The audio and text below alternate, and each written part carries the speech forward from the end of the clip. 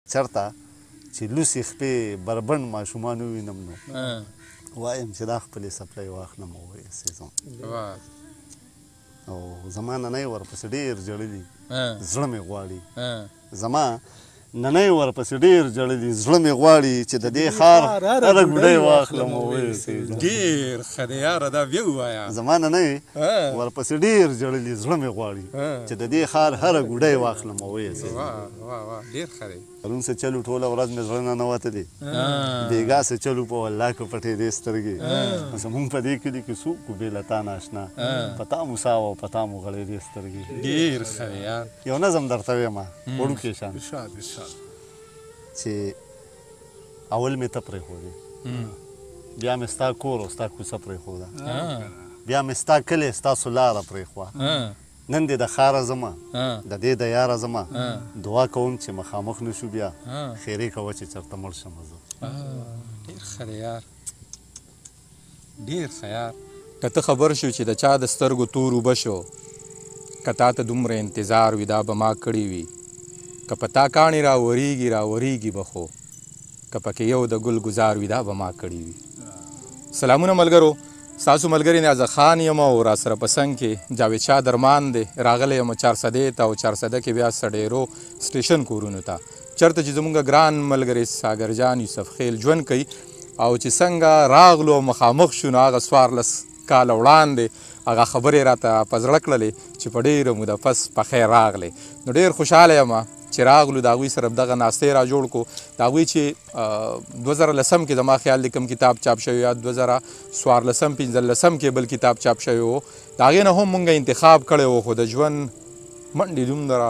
ډېرې دي چې سړی کله په یو خوا کله بل خوا خو بیا هم زمونږ زړه و چې د ساګرجان سره کینو د هغه نه خواږه خواږه شعرونه ریکارډ کو نن ورسره ګران ملګري درمان او مونږ رابطه وکړل هغه وې چې بلکل په کلي يم او هر کله راشې الله دې قدرمن کړي اصف راغلې دې اتل راغلې دې سره د ملګرو نو دغه ناستې مو په سټيشن کورونو سړيرو چارسده کې را جوړ کړې دې غواړو به چې په دغه مازيګر کې د ساګرجان يوسف خيل نه خواږه خواږه شعرونه واورو نو راځي چې د ساګرجان ژوند وپوښتو چې ژوند دې څنګه روان دی او شعرونه براته هم وای ساګرجان صاحب سلامونه وعلیکم السلام ډیره زیاته مننه هرکلی درته وایم د اشنغر په دغه خاوره باندې بختور شي دغه ټول ملګري دا څونه چې ناست دي انعامي اخیستل بیا راته ګران شي خو د ټولو ډېره زیاته مننه چې په دې دومره سره ګرمۍ کې دا ملګري به ویني مونږ ټول چې تاسو رالی او دومره وخت مو مونږ له راکو پښتو مو درنه کړه الله مو درنه کړه ډېره زیاته مننه په یخنۍ کې خو هر څوک هر چېرته ځي خو خوند خدا کوي چې ګرمي وي پکې نه وي هوا نه وي او د پولو په ټو غاړه وي او بس ناس وي سړی نو ژوند خو دغه دی نو څنګه چې درمان وي چې یاره ساګر جان صاحب نو شعرونه اورو که نه او د ژوند نه خو ستاسو مونږ خبر یو خو که سرسري راته درمانه خیر دی ووایي که نه او بلکل دغه د پښتو د غزل هسک غړی چې څنګه ولاړ دی دا نن سبا دی کې د اشنغر د شاعرانو ډیر غټ لاس دی مونږ بیا ځکه چار صدی په لمون ډیر شاعران نه دي مرکه کړي ان شاء الله دا سلسله به زمونږ دغه سي دوام لري مخکې به نور نور ملګری راولو او خبرونه به ریکارډ کوو دغه زمونږ د دې سلسله لومبۍ کړای دا چې ساګر جان صاحب دی او شباب صاحب سره هم یو خبرونه ریکارډ کوو نو تاسو مونږ سره اوسئ مونږ اورئ ډیره مننه چې تاسو یې مونږ سره مننه درانه شي بالکل د اشنغر ادب او بیا د اشنغر غزل زه به پکې صرف یو نامه واخلم د اکرام الله ګران بابا دا ټول تاسو د شیشې چې څونه ملګری دي دا ټول به نامه نامې نه خبر وي منګه اسی د پړی سر نیولې دي یعنی غزل د ګران بابا چې کوم معیار تر رسولې دي کوم ځای تر رسولې دي ال تر رسیدل ډیر زیاته ګرانه ده برخاله هغه تاسو ته خو مونږ ویلي شاعران نه یو د پړي سر مو نیولې دي بس هغه د خپل برخې کار دی هر سړی خپل وس باندې پړ دی بالکل تاسو نه باورو شعر ورته وایي شعرونه ډیر قربان هغه ځل ما ډیر خوښ دی چې تصویر د خپل لیونی واخلم وې سیزم تصویر خپل لیونی واخلم او وې سیزم ګټه د ټولې زندګۍ واخلم او وې سیزم او دغه زما او ستا په مینه کې درېمګړی ښکاري خدای کو چې ستا دغه نتکۍ واخلم او یې سېزم دغه زما او ستا په مینه کې درېمګړی ښکاري خدای کو چې ستا دغه نتکۍ واخلم او وې سې زما اوس په دې نیمه شپه د نو ورتلو توبه ما تکړم کده دې شپون نه د شپېلې واخلم وې سې زما او بس دومره وس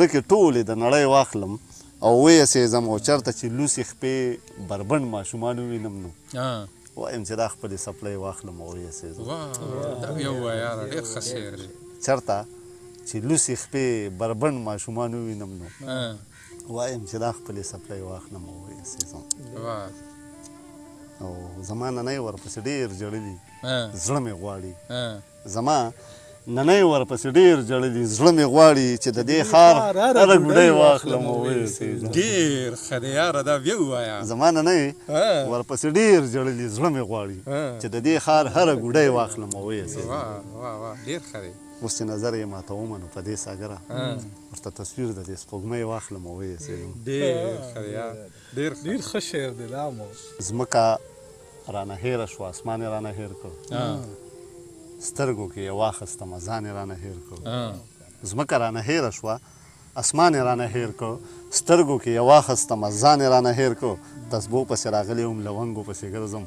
امیل یې سودایي کړم دوکان یې رانه هېر کړ ډېر ښه یار امان صاحب غزل دی چې زما د عمر سره سم دی کنه غم دی کنه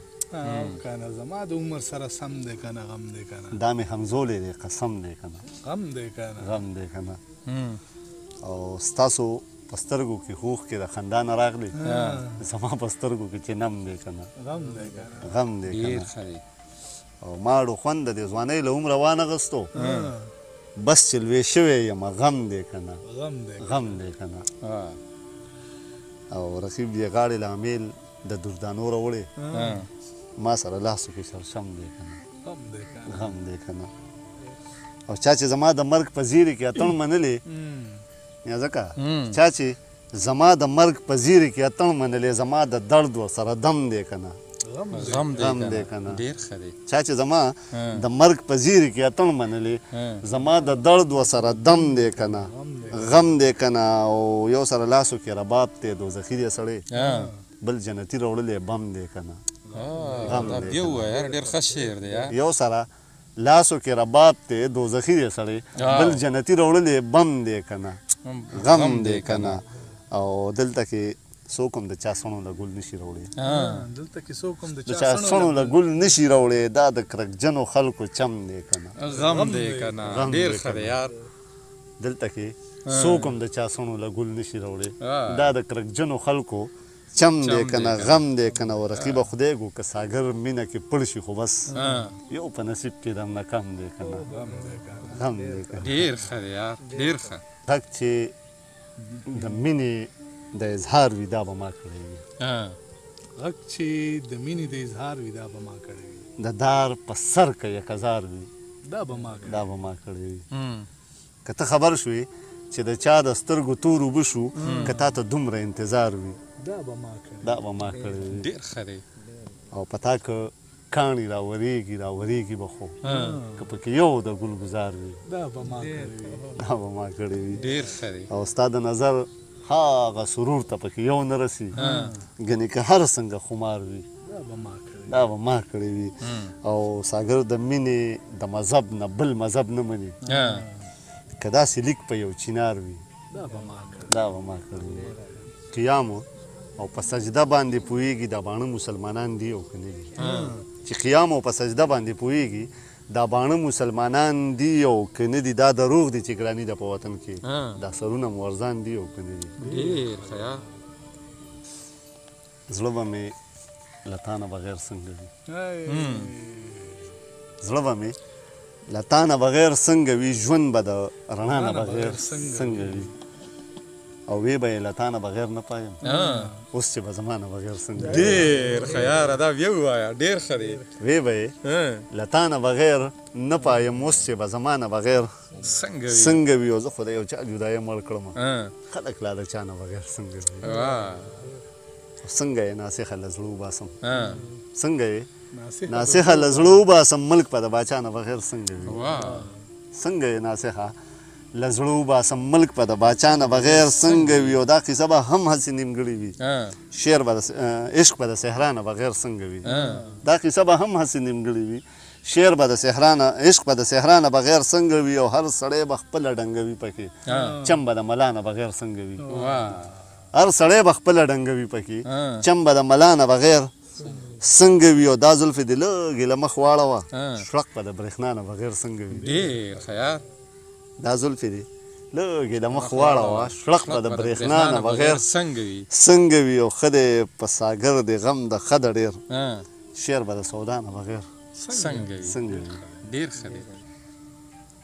ستا مخه ښه او اخیری سیګرټ د جمی شپه او اخیری سیګرټ اوږده جړۍ او اخیری ملاقات سر په اوږه او اخیری سیګرټ په نیمه شپه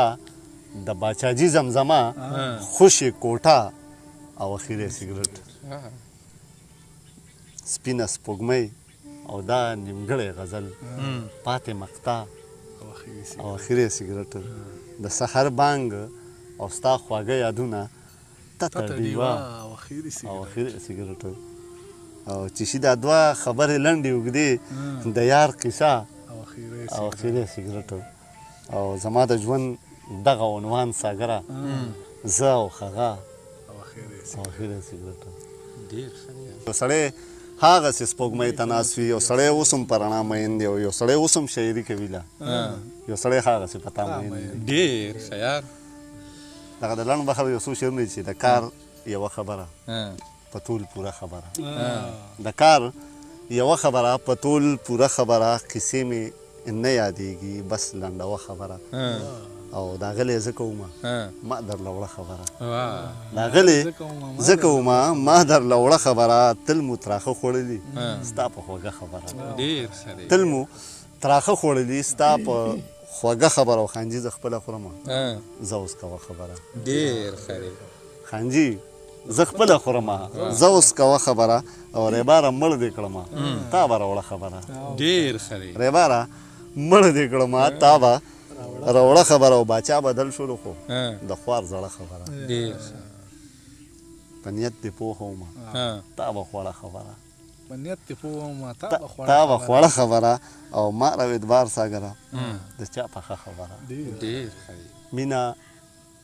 چې په زړه کې د انسان نه لري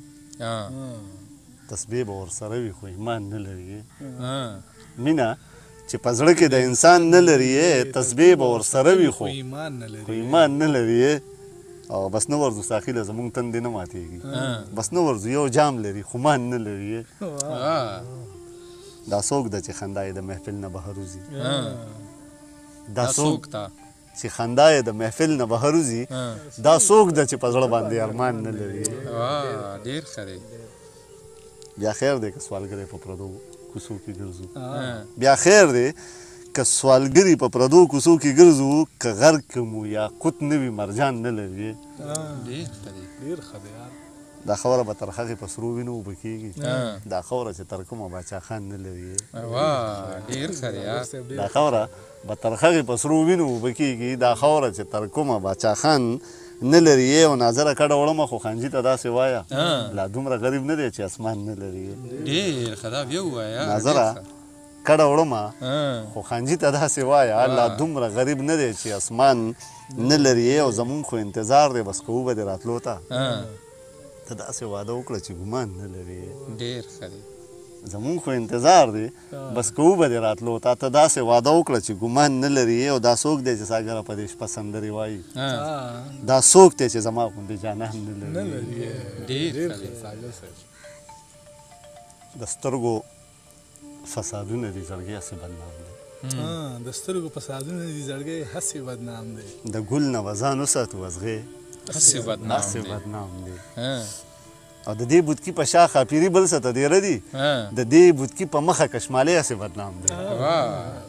د دې بوتکی په شا خاپیری بل څه ته دی ردی د دې بوتکی په مخه کشمالی هسې بدنام دی او خبره دا میل ده چې په کټ دانه دانه دی د خلکو په ذهنونو کې بنګړی هسې بدنام دی ډېر ښه دی خبره دا میل ده چې په کټ دانه دانه دی د خلکو په ذهنونو کې بنګړې اسې بدنام دی او زه پیژنم ساګر چې د یو ګوټ قایل نه دی قسم دی مولا جان دا سړی اسې بدنام دی واه ډیر خریا د بې مثله بې مثال سره ناستو د خایست بدر جمال سره ناستو اوس مې اسې خافيري د خیال چورلی اوس مې هسې ښاپېرۍ له خیاله چورلي بېګا خوب کې د کشمالي سره ناست وم. ډېر ښه دی. د دې خپل زړګي د داغ تفسیر مې ولوست. نن څه وخت له د شینخالې سره ناست وم. د دې خپل زړګي د داغ تفسیر مې ولوست. نن څه وخت له د شینخالې سره ناست وم او چې په یو نظر یې مات په بله جوړ کړي د دې زړونو د کولالې سره ناست وم. ډېر ښه دی. نن مې بیا د غزل څڼو کې موتیان دي پرون بیا د زر شمالې سره ناست نن مې بیا د غزل سونو کې موتیان دي پرون بیا د زر شمال سره ناستم او د پښتو ټپې یې نه وې زده ساګره د دې دور د ملالې سره ناستم ډېر ښه شعر دی د زړه ټکورېدو له مې ګلرنګ پیدا نه کو ما ښکلی ستا په شان چرته لونګ پیدا نه کو او د ښار کې په والله دا حسن دومره سیوا شوی د ښار کې مې د ځان غوندې بدرنګ پیدا نه کو دعا کوه خپه نه شي بس ډېره بې وسي ده په جیب کې مې دوانیز قدرې ملنګ پیدا نه کو ډېر ښه دی یار ژوند خواږه به درله فی سبیل الله درکوم د ژوند خواږه به درله فی سبیل الله درکړم مینې هر څه به درله فی سبیل الله درکړم ډېره ښکلې ځمکه ده یار تا سره خوند کوي او زه خو سنفرسته یم خیر دی رانجه به درله فی سبیل الله درکړم ډېر ښه دی ته دومره ښکلی له تا نه به څوک څه منې کړي هله دا زړه به درله فی سبیل الله درکړم ډېر ښه دی محبتونه دومره ډیر چې څومره زړه دې غواړي په تول درانه به درله فی سبیل الله درکړم ته دې خپل بد راته په ګرانه بیه وتله نن راشه او ښه به درله فی سبیل الله درکړم وی اساګره چې ته جوړ شې نو دا لږه ده څه مړه دا خوله به درله فی سبیل الله ډېر ښه دی